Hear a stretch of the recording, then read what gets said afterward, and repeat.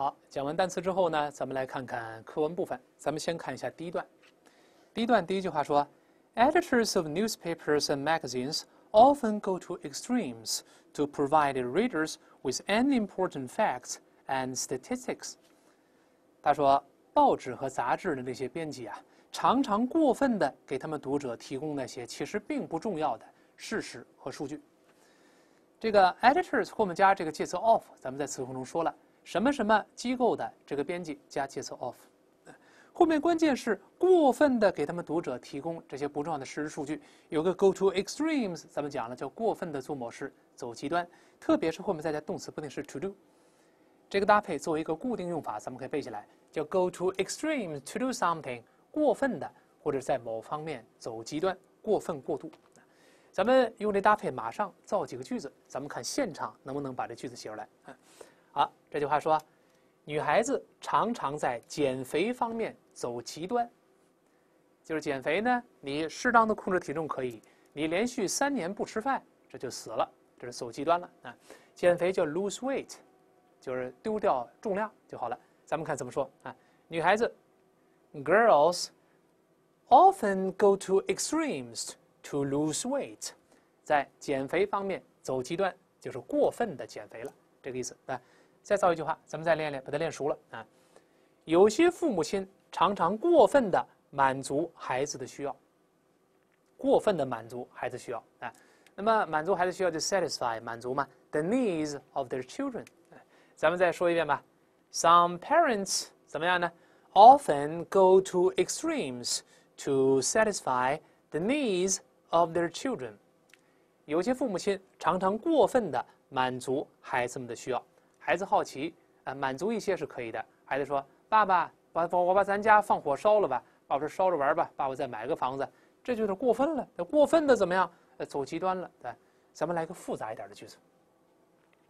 咱们三册句子别写的太太简单啊。阿尔弗雷德·布鲁克斯过分的追求成为白领工人的特权，把高收入都放弃了。结果媳妇跟他离婚了，到最后，那你这收入下降了，过分的 go to extreme to do something，追求，咱们可以用动词 seek，成为白领工人的特权，大家还记得吗？The privilege 加什么介词 of，a becoming a white collar worker 就好了。咱们说一遍啊，Al 呃 Alfred Blocks went to extremes to seek the privilege of becoming a white collar worker 就好了，因为这个人呢。 这个事情就发生了，所以在这不用 often 了，也不用一般是够了，用 went to extremes 一般过去式就好了。就做某事呢，太过分了，太夸张了，太过火了，go to extreme to do something。咱同时记住，本文中是过度怎么样呢？给他们的读者提供啊，并不重要的事实和统计数字。这个后面出现了 provide readers with。我们知道这个提供叫 provide somebody with something，本文中用了这个搭配。这个搭配还有一个字形的变化，咱们可以倒过来。叫 provide something for somebody，为某人提供某个东西，这两个搭配都行，都可以啊。那么没有什么区别。那么使用时用哪个好呢？你看哪个长，一般就把哪个放在后面。如果是人比较短，事情比较长呢，用第一个搭配好一些，把这 something 扔到后面。如果是事情搭配比较复杂，人比较短呢，把它倒过来用第二个搭配好一些，就避免头重脚轻。这个有两个搭配，主要是为了在写文章时避免头重脚轻。你看在本文中呢，这个人比较。单词比较少，the readers 只有两个词，后面东西呢，unimportant facts and statistics 太长了，所以用第一个搭配好一些。嗯，咱们多看几个例子，比如说看一百九十二页第十七行到第十八行，四十一课，一百九十二页的十七到第十八行。这句话这么说：If you can do without the few pastoral pleasures of the country, you will find that city can provide you with the best that life can offer. 如果你没有那些少得可怜的那些呃，这个什么农村的这种田园乐趣也可以的话，那么你就会发现，发现什么呢？这个城市啊，可以为你提供生活能提供的最好的东西。你看，provide you 先加人，就一个词一个代词，对吧？用第一个搭配好。with 后面事情太长了，the best 后面还挂着一个定语从句。The life can offer 生活能提供的最好的东西，所以在这句话中，他依然选择了第一个搭配。为什么呢？人比较短，而且事情相对是比较长的。咱们再看一个例子，看这句话：Colleges provide accommodation for all fourth-year undergraduate students，这些大学为所有的那些一年级的那些本科生提供住宿。就是你刚到大学里面没地儿住，你可以住在大学里边。你看这个搭配用的第二个，为什么呢？这个 something 比较短，就一个词 accommodation 住宿。这个人呢比较长，all first-year undergraduate students 这个太长了，在这个时候用第二个搭配好一些。啊，我们知道这个呃秘密之后，我们再写文章就容易写出不但是正确，而且比较地道、比较好的句子了。正确跟好可不一样。那么跟它类似的还有一些呃类似的表达，比如说为某人提供某个东西，咱们再换一个。这个 offer 也可以说给某人提供某个东西啊。它的搭配有两个，第一个叫 offer somebody something，人在前，事物在后，中间没有介词，注意这个不能乱编啊。看过再写，听过再说。或者倒过来，offer something to somebody，给某人提供这个东西。这个时候事情在前，人在后。那么用哪个搭配呢？一般来说，不出意外的话，咱们比比长短，比比长短啊。长的放后面。我们看两个例子，比如说看这句话：They offered him a very good job。But he turned it down。他们给他提供了一个非常好的工作，但是他谢绝了。Turn down 叫谢绝、拒绝这个意思啊。你看这里用了第一个搭配，为什么？人很短，只有个 that's him 呢？但事情 a very good job 四个字儿相对长一些，用第一个搭配好一些。大家看第二个句子：The drama school offers places to students who can show talent。 你看这个搭配同样是给某人提供什么东西？用第二个搭配好了，这个戏剧学校给那些能展示出才华的学生们提供了位置，就是你可以到学校来，我可以招生这个空位置给你。你看 offer 呢，这个 something 比较短，就一个词，而人比较长，student 还挂了一个定语从句，那么用第二个搭配就明显好一些。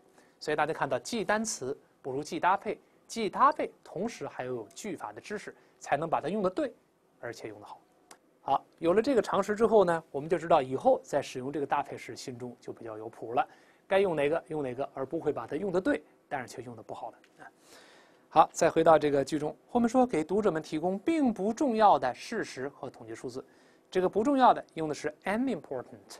那如果咱们写作中替换呢，这个有很多一些类似的一些近义词，比如说我们可以用 trivial，微不足道的；trifling，微不足道的、不重要的，或者干脆用 insignificant。significant 可以表示重要的、重大的、有意义的；不重要的呢，前面加否定字的 in 就好了。正如 important 前面加否定词的 u n 一样，加 in 还是 u n 是没准的啊，咱们只能见一个记一个。我们分别大声读一下：unimportant、trivial、trifling、insignificant。哎，这个都行，并不重要的。还有后面那个事实和统计数字。那么这两个词在本文中其实重要性是一样的。但为什么先说事实呢？咱们还是量量长短啊。Facts 这个词只有五个字母，而 statistics 这个词太长了。你看，一二三四五六七八九十，十个字母。所以两个单词如果并列出现，重要性一样的话，一般来说，一般来说，哪一个单词个儿小，哪个放在前面；哪个个儿大，哪个放在后面。跟照集体照，跟句子原则是一样的。咱们多看几个例子啊。你比如说，咱们可以这么说，比如说。我说蔬菜水果，中文中先说蔬菜，但英语中习惯先说水果，为什么呢？水果短，fruit and vegetables，fruit 水果短，但蔬菜长一些，先说水果。大家还得同时注意，蔬菜是可数名词，用复数；水果除非表示种类，否则的话是不可数的。所以你看英语多不好写，细节太多。中文中没有这么多变化，英语中讲究太多啊。但是确实是用这个语序，咱们把它记住，把它背下来啊。还要像飞禽走兽，fur and feather，或者用 birds and beasts。这个咱们以前说过，fur and feather 在第一课讲过，这是用借代的修辞了。因为 fur 是走兽的特征，feather 羽毛是鸟的特征。fur 不是野兽的皮毛吗？先说的是 fur，后说的是 feather，因为 fur 比较短一些。但这个搭配里面先说这个鸟 birds，后说 beasts，为什么？因为鸟相对短一些。这个野兽呢，字母毕竟稍微多了一点，用这个。再比如说食宿。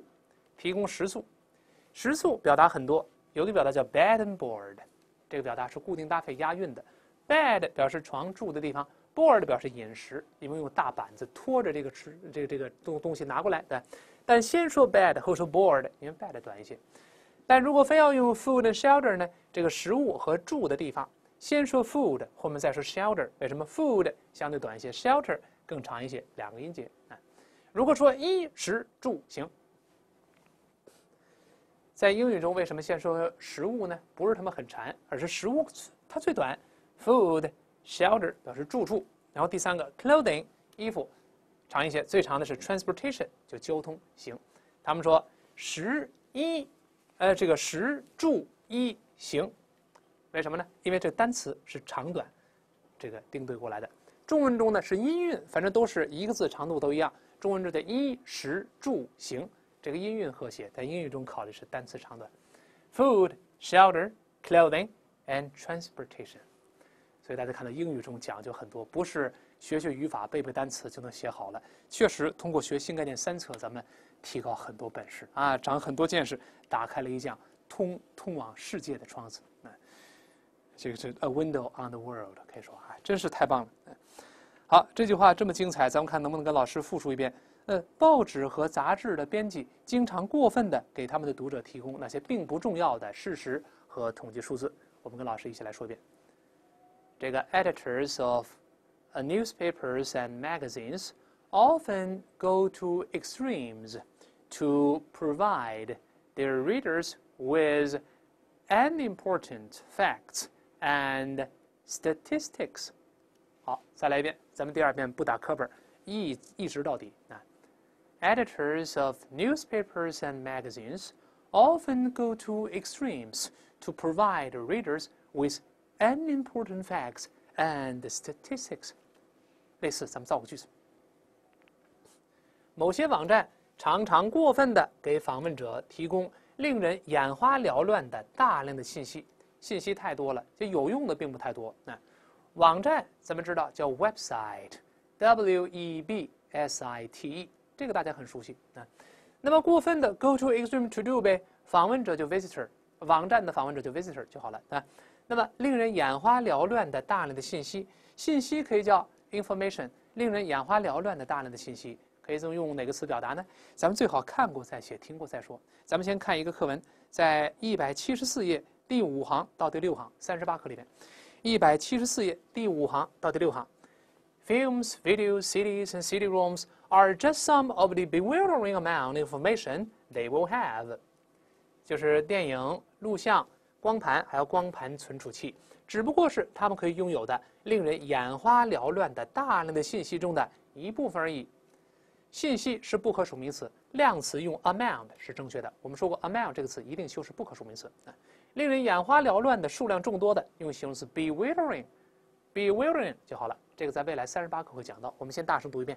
bewildering, bewildering，令人目不暇接的、眼花缭乱的。咱们来说说这句话。有一些这个网站常常过分的给访客提供那些令人眼花缭乱的大量的信息。一些网站，some websites often go to extremes to provide their visitors with a bewildering amount of information. 哎，这个句子咱们心里特别踏实，为什么呢？所有的句型，包括这个眼花缭乱的信息，咱们在三册都见过，这写起来多么自信吧？谁敢说我写的错？谁肯定错？经典 错不了。大家记住，新概念三册四册比字典还要可靠，肯定没有任何问题。好，第一句话看完之后，咱们接着看后面第二句话。呃，他说，你看，你他举举了个例子，他讲故事了。Last year, a journalist had been instructed by a well-known magazine to write an article on the president's palace in a new African republic。去年，一个记者就被一个著名的杂志社指派呢，去写一篇文章，有关一个新诞生的非洲共和国总统府的这么一篇文章。这去年呢，呃，一个记者被一个著名的杂志社指派，这个里面用了一个动词，特别重要，叫 instruct。我们知道这个词是多义词，instruct。它的含义可以表示教某人知识，教某人文化知识。那么表示这个意思的时候呢，它往往搭配是这样的，叫 instruct somebody in something，教某人某方面的知识。比如说，I instruct a class in history，我教一个班集体教历史，教他们学历史。所以呢，老师我们就可以 instructor，他就相当于 teacher，就教我们知识这个人。我们再读一下 instructor，instructor，哎，是这个意思。但是 instruct 如果跟 somebody to do 加动词不定式了，那是表示这个命令或者指派某人去做某事。而在这个时候呢，它跟另外一个动词特别像，就是动词 direct，都可以表示命令或者指派某人做某事。咱们分别把动词再读一下：instruct，direct，都是加人之后加动词不定式。而且这两个词在使用的时候呢，一般多强调客观的正式的场合，比如在政府里边呢、法庭上啊。工作这个场合呀，而且一般都暗示非常详细的说明这个行动的步骤，告诉你具体该怎么去做。本文中告诉你得数清楚多少级台阶儿，这墙有多高，具体指派某人怎么做，往往用它用在客观的一些正式的场合。啊，咱们看一些例子。本文中用在工作场合，用在上下级之间用的对。来，再比如说看这个例子：I have been instructed by the company to offer you a refund. 那么公司指派我呢，给您提供一个退款。您不满意，把钱退给您，refund 叫退款的意思。我被公司指派，中文中可以用被动，呃，中文中可以用主动翻译，因为中国人不喜欢被动。就公司委派我给您提供一个退款，明确指出应该怎么去做，这是用在客观的正式场合、公事场合呀，用的对。再看一个 direct，the judge directed the defendant to remain silent。这个法官命令。这个 the defendant 叫辩方了，就辩方控方那个辩方，就被告那一方要保持安静，不许说话。法庭要保持镇静，客观的正式的场合。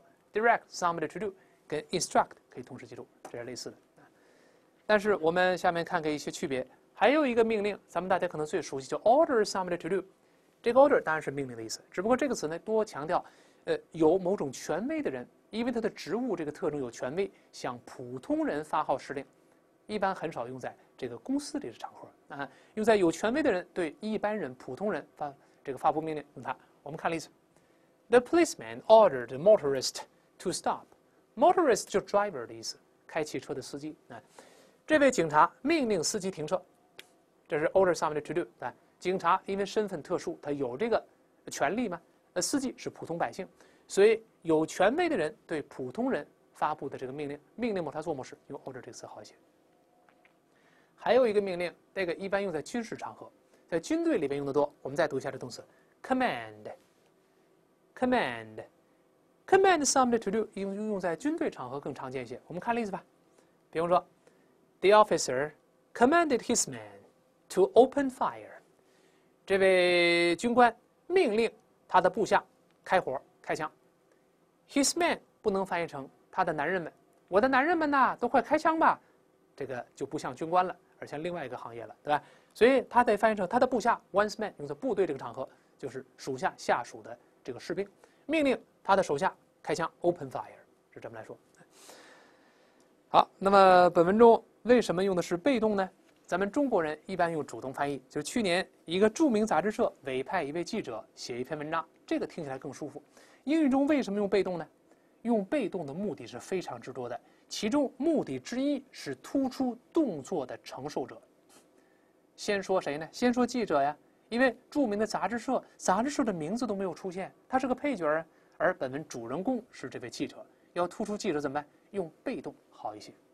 你看，在本句中，这个 a journalist 是重点，而著名的杂志社是配角。那么先说这个记者，把它放在接近句首的位置，比较重点突出一些。这个知识咱们是复习，在前面课文中多次碰到过。比方说，咱们再看第三课二十二页的第一行到第二行。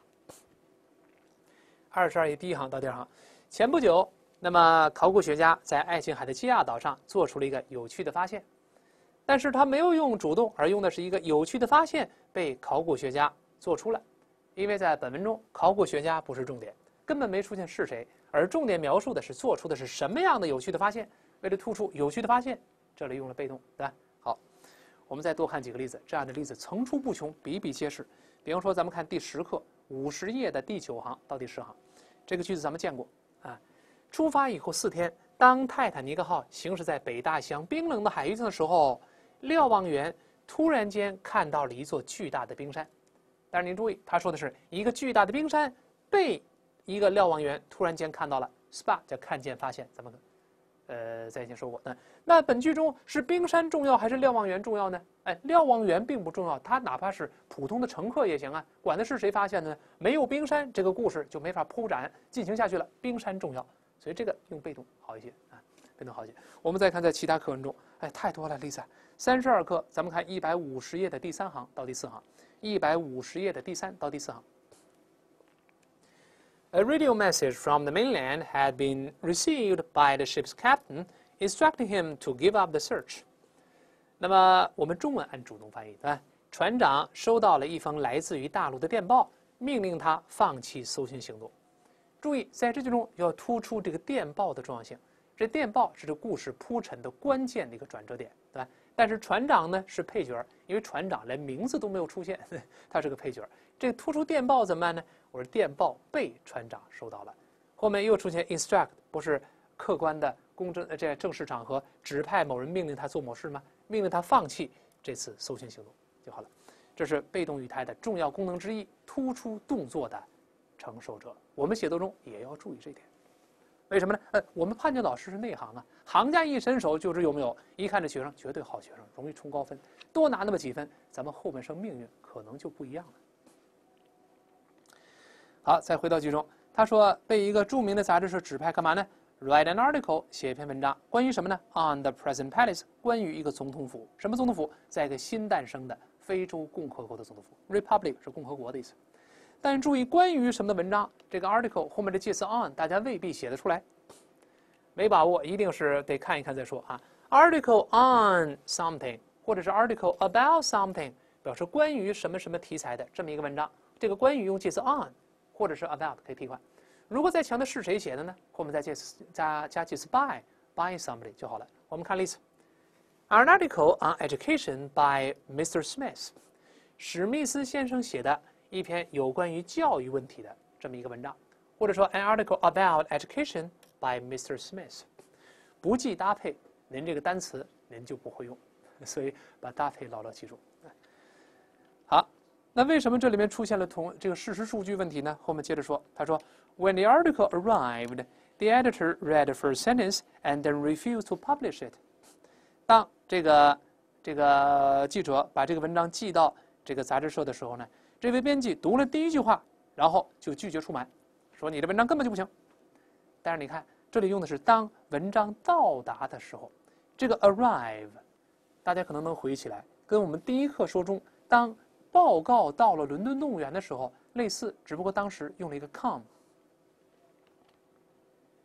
注意这个 arrive 和 come 这两个词，经常可以表示到达事物到达某个地方。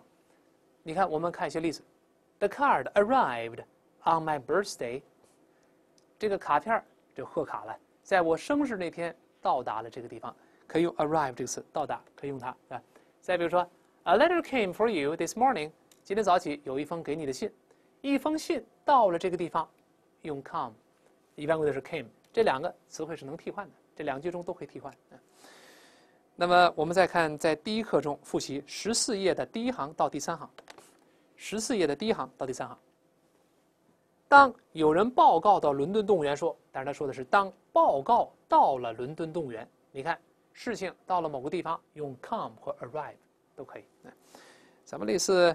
来说一句话，比如说，看这句话：当 Jane 收到信时，读完第一句话就哭了。这个读完的 read the first sentence and then cried 就好了。对，当 Jane 收到信时，我们可以用当信到这儿的时候，怎么说呢？When the letter came 或者 arrived，Jane read the first sentence and then cried。信到达的时候。Jane 读完了第一句话，然后就哭了。但注意这个读，read 一般过去式拼写一样，但发音变成 read，这里读成 read。注意这一般过去式。好，这是呃什么信呢？什么贺卡呀？报告啊？一些传真呢？到达的时候用 come 和 arrive，这个可以把它同时记住。